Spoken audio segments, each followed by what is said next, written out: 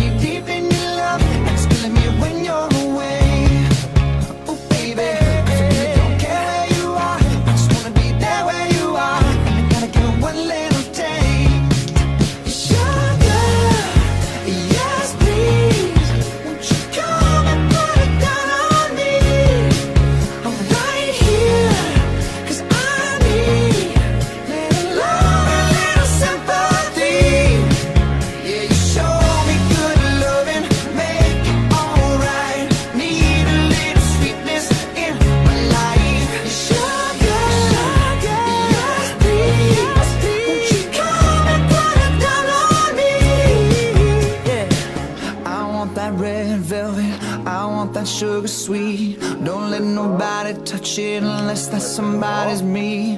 I gotta be a man. There ain't no other way. Cause girl, you're hotter than a Southern California day. I don't wanna play no games. You don't gotta be afraid. Don't give me all that shy shit. No makeup on, that's my sugar. Yes, 이번에 저희가 그 하게 된 이 프로그램은요, 그 아이들이 생각하고 있는 건축에 대한 그 나름대로의 작은 경험들인데 경험들을 어, 어떤 책자라고 하긴 좀 그렇겠지만은 저희가 시각화시키는 그 어떤 것으로 저희가 좀 만들어서 그걸 남기려고 하는 게 주요 수업이었어요.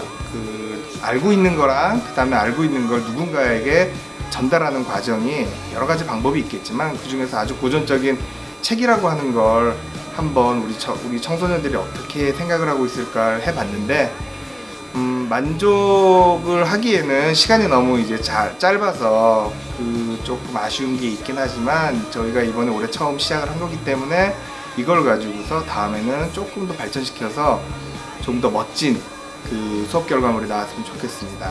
그리고 학생들 너무 많이 수고를 하셨어요. 축하드려요.